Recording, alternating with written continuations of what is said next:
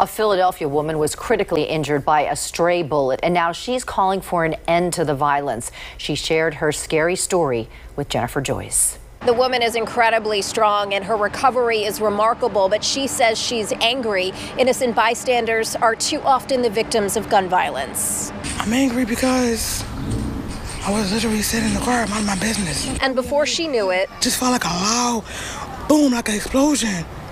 I said, I think I'm shot. Zyenaysha Brown says she was sitting in her car with her boyfriend outside of his apartment near 41st and Parrish Streets when she was caught in the crossfire. 44 bullets flew wildly through the streets the night of Memorial Day, one of them lodged in her throat. I already knew I was shot, but I was like, God, please don't let him shoot no more. Because if he keeps shooting, I'm going to be done. Brown says her boyfriend and later police raced her to Penn Presbyterian Hospital where she was rushed into surgery and later put on a ventilator in critical condition. I have four missing teeth. I have stitches in my tongue.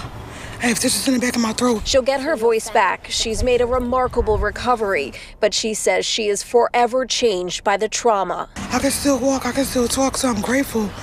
But it's a really, really scary situation, and I feel like empty. When I came home from the hospital, I was scared to come outside. Brown says she's sad knowing that what happened to her can happen to anyone as gun violence rages in the city night after night, and she's had enough. You want to shoot 44 times, a block full of people, you don't care. Go to go to war. I just wanted to stop, but I don't. I really don't think it would. Zyenaysha says even before she was shot, she wanted to move outside the U.S. for fun. Now her immediate goal is to move outside the city for her safety.